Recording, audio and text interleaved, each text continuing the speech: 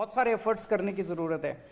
लेकिन वो एफर्ट्स तब फलीभूत होते हैं जब देवी देवताओं का आशीर्वाद होता है। भारतीय करेंसी के ऊपर एक तरफ़ गांधी जी की तस्वीर है वो वैसे ही रहनी चाहिए। लेकिन दूसरी तरफ़ श्री गणेश जी की और श्री लक्ष्मी जी की तस्वीर भारतीय करेंसी के ऊपर लगाई जाए। Hello everyone, welcome to topic of the day. In today's video, we shall be discussing about Hindu gods on currency notes or the role of RBI in currency management. So recently this topic came up in news as the Delhi Chief Minister Arvind Kejriwal remarked that images of goddess Lakshmi and Lord Ganesha should be on currency notes for the prosperity of the country. Let us discuss about the role of RBI in management of banknotes. First of all, in terms of Section 22 of the RBI Act 1934, the Reserve Bank has the sole right to issue banknotes in India. Section 25 states that the design, form, and material of the banknotes shall be such as may be approved by the central government after consideration of the recommendations made by the Central Board of RBI. All banknotes issued by the RBI are backed by assets such as gold, government securities, and foreign currency assets as defined in the Section 33 of RBI Act 1934. Now, if we talk about the role of RBI in management of coins, the Government of India is responsible for the designing and minting of coins in various denominations as per the Coinage Act 2011. The role of RBI is limited to distribution of coins that are supplied by the Government of India.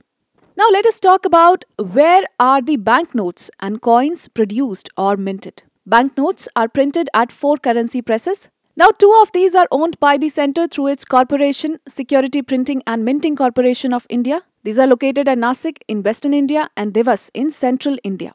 Now the other two are owned by the RBI through its wholly owned subsidiary the Bharatiya Reserve Bank Note Mudran Private Limited these are located at Mysuru, that is in southern India, and Salboni, that is in eastern India.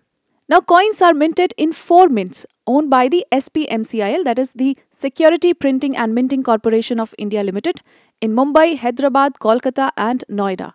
Now, let us talk about the four types of banknotes issued since independence. First, the Ashoka Pillar banknotes.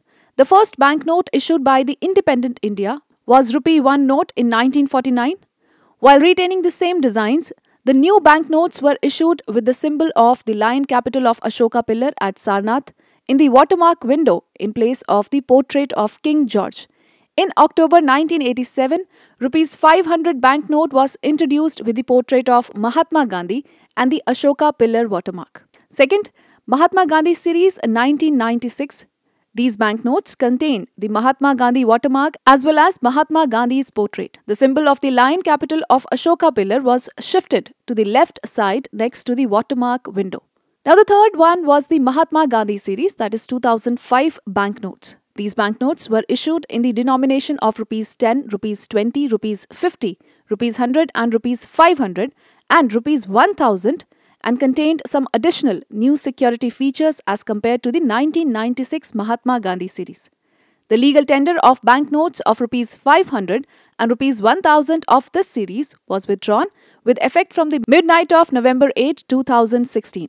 Now this Mahatma Gandhi series was introduced in 2016. The first banknote from the new series was introduced on the 8th of November 2016 and is a new denomination rupees 2000 with the theme of Mangalyan. Subsequently, banknotes of this series in denominations of rupees 500, rupees 200, rupees 100, rupees 50, 20 and rupees 10 have been introduced.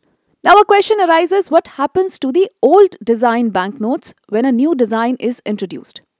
Both old and new design notes usually circulate together for a while. The old design notes are then gradually withdrawn from circulation when they become unfit to be reissued. So this was a little bit about the topic. Now let us take up one practice question on the same. Consider the following statements relating to the management of coins. First, the Government of India is responsible for designing and minting of coins in various denominations as per the Coinage Act 2011. Second, the role of Reserve Bank of India is limited to distribution of coins that are supplied by the Government of India. Now, which of the statements given above are correct? You can take a moment and write your answers in the comment section below.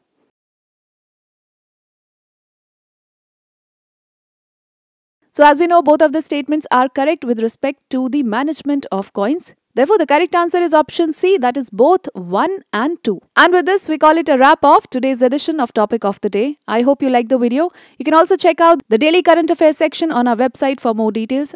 And for more such videos, do stay tuned to the next IAS YouTube channel.